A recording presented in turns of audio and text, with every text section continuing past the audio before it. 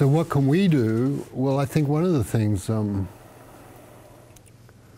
uh, one of our guests here tonight is just in from Philadelphia, is Ed, who's a friend, long-term friend who works with a big homeless shelter in Philadelphia, and was talking about how here the vulnerable people are often the undocumented, and in Philadelphia it's people who are really poor, you know, and. Uh, and Ed was saying it's good that we have this here because it's in his heart while he's working with poor people in Philadelphia. We're here.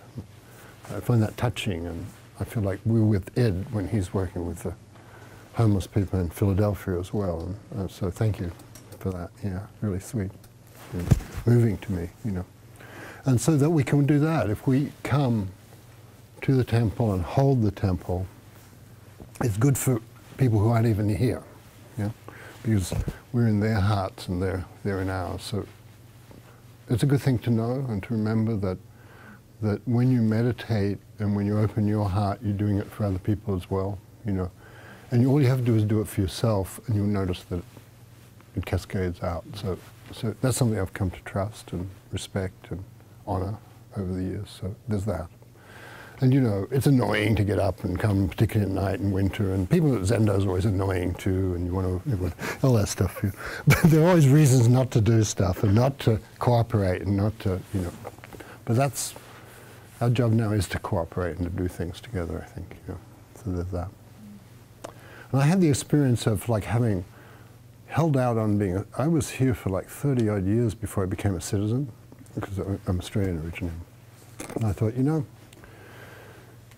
I don't know. It was partly inertia and dread of paperwork, but I don't know. And anyway, I decided to become a citizen a few years ago and during the uh, Obama administration. And there was this great ceremony at, in Oakland of, um, there's a big old Art Deco theater in Oakland that some of you probably know. a gorgeous place and kind of, you know, very like hip sort of Art Deco half-naked people on the walls and things. It was, seemed very right for citizenship. oh, this is what I'm coming into. it was like, it was great. And, uh, and so, and there were 100 people from 100 countries. There were like a 1,000 people or something.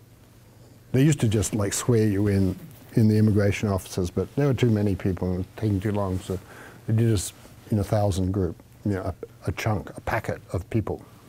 And there were people from 100 countries, and they had us all stand up, and there were people from, you know, Somalia, and, you know, there was one other person from Australia, I think, and, and all, all over the world. And it was kind of touching, actually. And they had everybody, they had people stand up when the country was called. And I thought, oh, that's pretty good. And that's a, that's a thing about variety. And, and they had a, a speaker who um, almost everybody who was doing the ceremony, all the government bureaucrats, they're all either Mexican or Asian. You know, they weren't, none of them were, very few um, white people. And you could tell they'd come in themselves as immigrants and then been loved and in order to serve had joined immigration, which not what you normally think of as immigration as doing, but for them they were welcoming people in. I was very touched.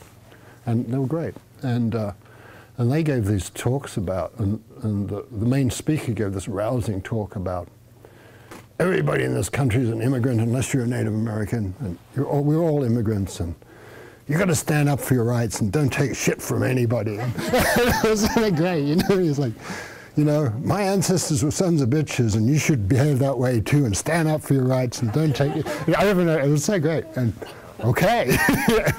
and if the police hassle you and you're Mexican tell them you're a citizen and go away and you don't have to show them your identity and things like that. It was great. You know. so, so that was really good. I thought, wow, you know, and then uh, there's the Black Choir of Oakland sang America the Beautiful for us, you know, which was really awesome. And uh, I happened to be just randomly, by the way, they allocated the names and stuff. I was sitting in the front row. And the, as the choir went out, I just held out my hand. And these guys from the choir waving my hand. I, said, I thought, you know, black people have been good to me. I, I like, I like this place.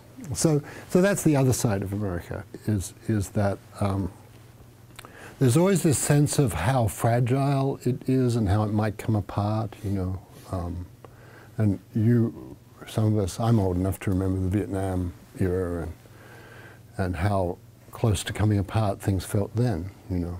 So that's a reality. The reality is that things are always about to come apart, you know, and that's kind of called the world, you know. And in a way, that's what Buddhism is partly a solution to meditation, Zen, is that we must be in the world and we can't, it's not going to be different from what it is, but we can have our own, we don't need to get consumed by the hatred ourselves, but we can fight for what we need to fight for, what's really important to us, you know and and also we can have some kind of spaciousness and generosity in our hearts, and that's the meditation, and that's the Kuan Yin part of the koan, right? And um, I, this koan originally it's an old, um, probably a Japanese koan, I think, rather than Chinese one, but it's hard to tell. And it's it was only I only ran into it handed down in the oral tradition through the Japanese temple system for a thousand years, kind of thing. You know? So I don't really know. Um, too much about its origins, but I do know about its uses, and and and it, it's about empathy. It's and it originally was take, find shelter for the homeless person, you know, but we're all homeless when we're afraid, you know, and uh, and it starts with you. It doesn't start with someone else, you know, and how we find that is we, we can't tell ourselves like shouldn't be afraid. If you're afraid, you're afraid, or shouldn't be angry if you're angry. But inside that, you can sort of welcome your, your own experience and welcome your own life. And inside that, you'll find, uh, oh, there's this like moonlit compassion and loving quality that's Kuan Yin. And it's just there. If you try it in meditation, it'll be there. Just don't make yourself wrong.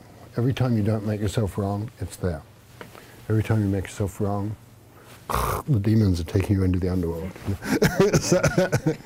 the Dark Lord has captured you in his in his um, Cadillac Escalade and is taking you down. You know?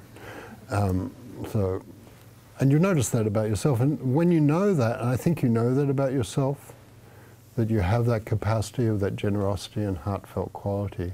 Every time you you're just kind, or if you look at someone and just smile and open your heart, Kuan Yin's there, you know, and that's you. So you're taking the form of Kuan Yin.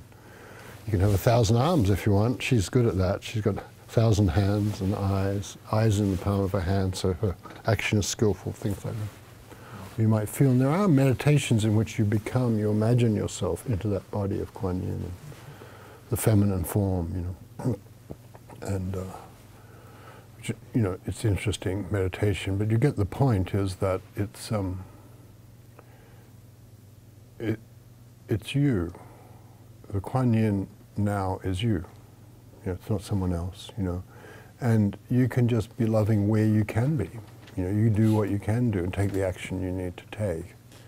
And um, be, look after the people you can look after, you know.